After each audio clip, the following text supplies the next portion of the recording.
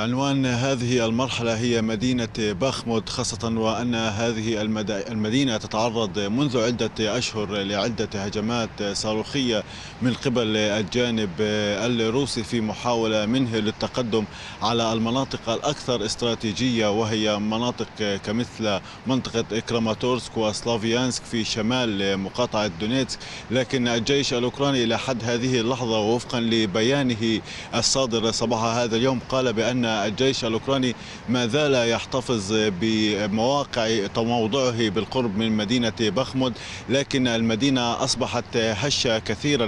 دفاعاتها أصبحت هشة بالنسبة للجانب الأوكراني خاصة وأن هنالك كثافة بإطلاق الصواريخ وكثافة أيضا بتحرك القوات الروسية في محور هذه المدينة. وليست هي المدينة الوحيدة التي تتعرض لهجمات صاروخية أيضا المدينة المتاخمة لها وهي وهي مدينة سويدار كذلك تتعرض تعرضت لعدة هجمات صاروخية وفقا لبيان هيئة الأركان العامة للقوات المسلحة الأوكرانية. كذلك أيضا مدينة أفديفكا هذه الثلاث مدن هي تسمى بالمدن الطوق بالنسبة للقاعدة الأهم استراتيجية وهي مدينة كراماتورسك الواقعة في شمال مقاطعة دونيتسك الجيش الروسي يحاول اختراق دفاعات القوات الأوكرانية المتواجدة في منطقة باخموت للوصول إلى منطقة كراماتورسك كذلك أيضا ميدانيا في المناطق الجنوبية لا تختلف كثيرا عن المناطق الشرقية بالنسبة لمدينة باخموت خاصة وأن الجيش الروسي صباح هذا اليوم كثف ضرباته الصاروخية على خط التماس أو الخط الفاصل ما بين المناطق التي تسيطر نعم. عليها القوات الأوكرانية والمناطق التي تسيطر عليها القوات الروسية منذ في هذا الخط الفاصل الممتد من آخر نقطة من مدينة خرسون إلى مدينة باخموت والولوج إلى مدينة إلى مقاطعة لوهانسك. صباح هذا اليوم قال هي قالت هيئة أركان العام للقوات المسلحة أن القوات الروسيه الروسية قصفت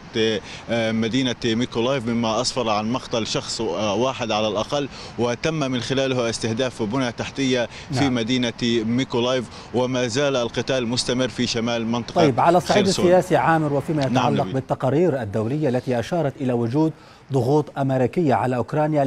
لحملها على تقبل التفاوض مجددا مع روسيا. كيف هل عقبت على ذلك؟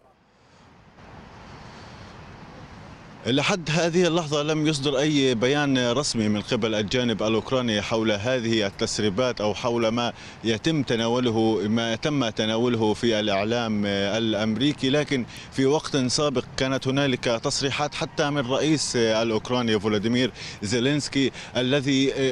قال في سرعان ما رد على الانضمام على محاولة انضمام الأربع مناطق الانفصالية إلى المناطق الروسية قال بأنه لا يمكن الوصول إلى مفاوضات مع الجانب الروسي لطالما بقي الرئيس الروسي في سدة الحكم. كذلك أيضا مرر أندري يارماك مدير مكتب الرئيس الأوكراني التصريحات لمستشار الأمن القومي حينما زار مدينة لمستشار الأمن القومي الأمريكي حينما زار حينما زار كييف. قال خلاله أن أوكرانيا لن تعتبر نفسها منتصرة إذا لم تحقق النقاط التالية وهي إعادة السيطرة على على جزيرة على شبه جزيرة القرم وإعادة سيطرة وإعادة سيطرتها على إقليم دونباسك ومنطقة زبروجيا وخرسون. ومن ثم تقديم لأوكرانيا ضمانات أمنية ومن ثم أيضا تقديم لأوكرانيا آه، التعويضات من قبل الجانب الروسي ومحاكمة المسؤولين الروسي الروسيين. ومن ثم آه،